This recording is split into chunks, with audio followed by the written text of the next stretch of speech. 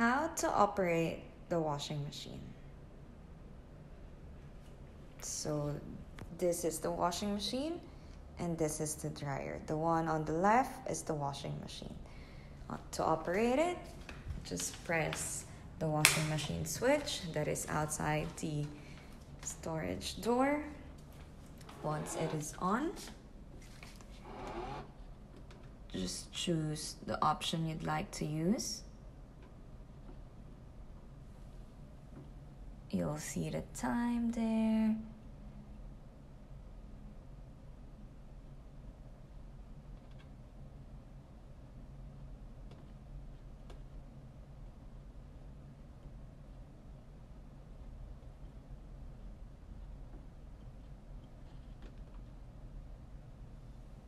and then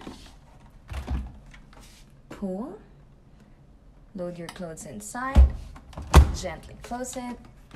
Load your detergent here. Close it. And then press the start button